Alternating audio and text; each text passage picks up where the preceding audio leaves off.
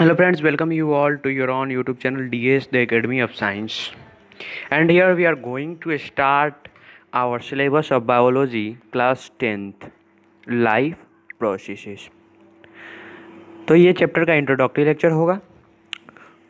तो सबसे पहले चैप्टर स्टार्ट करने से पहले मैं आपसे एक सवाल करना चाहूँगा।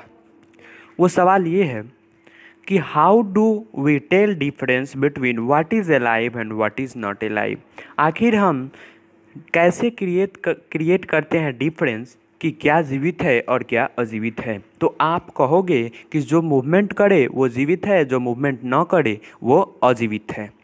लेकिन मैं ये कहूँ कि इतना इनफ नहीं है तो आप मुझे बोलोगे तो आप एविडेंस दीजिए। तो वो ये एविडेंस है कि देखिए, आप मूवमेंट देख रहे हैं, मैं यानी कि कोई भी चीज़ मूव कर रहा है, जैसे कि मैं अभी चल रहा हूँ, मैं बोल रहा हूँ तो मेरे अंदर मूवमेंट हो रही है तो आप बोल रहे हैं कि आप अलाइव हैं। लेकिन अगर क्या होगा, मैं सो जाऊँ, या कोई भी जानवर मेरे साथ अगर दौड़ रहा है, वो अगर सो जाए तो क्या आप बोलोगे कि वो तो आप कैसे बोलोगे कि वो जीवित है तो आप बोलोगे कि ब्रीदिंग देख के उसका सांस चल रहा होता है। लेकिन मैं आपको ये बता देना चाहता हूँ कि कुछ ऐसे जानवर होते हैं जो ब्रीदिंग तो करते हैं, लेकिन विजिबली नहीं शो करते हैं। कुछ ऐसे जानवर होते हैं जो विजिबली ब्रीदिंग शो नहीं करते हैं। अब चलिए वाट अबाउट प्लांट्स प्लांट्स के बारे में आप क्या कह सकते हैं? तो आप कहोगे कि हाँ हम उन्हें हरे देखते हैं तो बोल देते हैं कि वो जीवित हैं। लेकिन मैं कहूँ कि अगर डेजर्ट में आपको ले जाया जाए डेजर्टेड प्लांट जो होते हैं, उनके पत्ते वो हरे नहीं होते हैं। वो हरे नहीं होते हैं। कुछ ऐसे पौधे होते हैं डेजर्ट में। तो आप बोलोगे कि अच्छा तो वहाँ पे हम उनके ग्रोथ को देख के बोल देंगे। तो फिर मैं बोलूँगा कि कुछ ऐसे प्लांट्स हैं जिनका एज एक फाइनल एज हो जाता है, उसके बाद वो बढ़ नहीं, बढ़ते नहीं हैं। तो फिर आप क्या बोलोगे? तो मेरे फ्रेंड्स ये बात ध्यान में रखिए। Visible movement is not enough to say something is alive और something is not A live तो आखिर हम कैसे डिसाइड करेंगे कि what is alive and what is not alive on the basis of on the basis of the following characteristic we can say that something is alive in following character के base पे ही हम बोलेंगे कि क्या alive है और क्या not alive है living things show movement और invisible molecular movement living living things movement show करेगा और इनविजिबल मॉलिकुलर मूवमेंट शो करेगा living things can grow living things grow करेगा living things need food living things को food की ज़रूरत होगी living things can excrete living things जो जो फ़ूड लेगा, उसको एक्सक्रेशन के रूप में बाहर निकालेगा, जो उनसे मतलब उनके फ़ूड से जो अच्छे मटेरियल रहेंगे, वो रख लेगा और जो ख़राब रहेंगे, उन्हें बाहर निकाल देगा। Living things can respire living things can reproduce living things reproduction भी करेगा।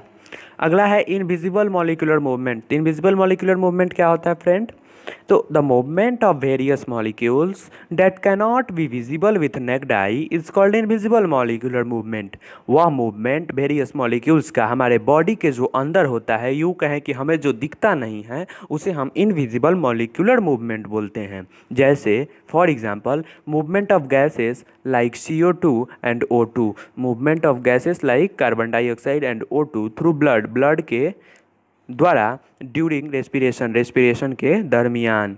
ये आपको दिखता है? नहीं दिखता है फ्रेंड्स तो हमारे बॉडी के अंदर बहुत सारे प्रक्रियाएँ होती रहती हैं जो हमें दिखती नहीं हैं। तो सबसे पहले हम एक क्वेश्चन और करेंगे। वो क्वेश्चन आप करोगे एक प्रोफेशनल बायोलॉजिस्ट से। क्या? कि sir invisible molecular movement necessary है क्या लाइफ के लिए? तो वो बोलेंगे yes absolutely it is very necessary professional biologist sir क्या बोलेंगे? कि यस इनविजिबल मॉलिकुलर मूवमेंट बहुत नेसेसरी है। वो किस वो क्यों? क्योंकि देखिए इनविजिबल जो मॉलिक्यूल्स का मूवमेंट हमारे बॉडी के अंदर होता है, वो डिसाइड करता है कि हम जीवित हैं या अजीवित हैं। Not we can't say anything is alive on the basis of movement movement के बेस पे हम किसी को भी अलाइव नहीं बोलेंगे। तो फ्रेंड्स अगर वायरस की बात करें तो ये अभी तक हमारे साइंटिस्टों के लिए एक कंट्रावर्सी बना हुआ है ये वायरस क्या कि virus do show molecular movement ये बेचारा मॉलिकुलर मूवमेंट भी शो कर देता है, लेकिन ये सेल को इन्फेक्ट कर देता है। तो हम कैसे पता करें कि ये लिविंग है कि नॉन लिविंग है? तो ये हमारे साइंटिस्ट के लिए कंट्रावर्सी बना हुआ है। क्या कि ये जीवित होता है कि अजीवित होता है? अब आइए, हमारा बॉडी जो है, हमारा बॉडी एक ऑर्गेनाइज स्ट्रक्चर से बना हुआ है। एक डिफिनिट ऑर्गेनाइज स्ट्रक्चर से बना हुआ है। ये आप पिछले क्लास में पढ़े हुए हैं क्या? ये ऑर्गेनाइज स्ट्रक्चर क्या होता है? इसके पास होता है टिश्यूज। और इन टिश्यूज के पास क्या होता है? सेल्स। और इन सेल्स के पास क्या होता है? कंपोनेंट्स वेरियस कंपोनेंट्स तो इन कंपोनेंट्स ये सब मिलके एक ऑर्गेनाइज स्ट्रक्चर बना हुआ है। ये बहुत सारे टिश्यू मिलके ऑर्गन बना ऑर्गन्स का फॉर्मेशन करते हैं और और बहुत सारे ऑर्गन्स मिलके ऑर्गन सिस्टम का फॉर्मेशन कर देते हैं। तो फ्रेंड्स हमारे बॉडी में मॉलिक्यूल्स का ब्रेकडाउन लगातार होता रहता है। लगातार हमारे बॉडी में मॉलिक्यूल्स का ब्रेक डाउन होता रहता है। तो इन मॉलिक्यूल्स के ब्रेक डाउन होने के कारण हमें लगातार अपने बॉडी के बॉडी को एक मेंटेनेंस की ज़रूरत होती है। एक मेंटेनेंस की ज़रूरत होती है और एक परफेक्टिवली मेंटेनेंस चाहिए हमारे बॉडी को, यूँ कहे कि। तो आखिर वो मेंटेनेंस प्रोसेस क्या होता है, ये हम अगले लेक्चर में देखेंगे। तब तक दिल थाम के बैठिए। अगला लेक्चर बहुत जल्द आएगा। मिलते हैं अगले वीडियो में। तब तक के लिए धन्यवाद। अगर वीडियो अच्छा लग रहा है तो सुनो सब्सक्राइब करो चैनल को शेयर करो वीडियो को, और बेल आइकन यानी कि घंटे को दबाना मत भूलना, क्योंकि सबसे पहले मैं चाहता हूँ कि ये वीडियो तुम देखो। और ये फ्रेंड्स अपने फ्रेंड्स के पास आप लोग शेयर करिए, ताकि ये होगा कि वो भी देखेंगे, आप भी देखेंगे।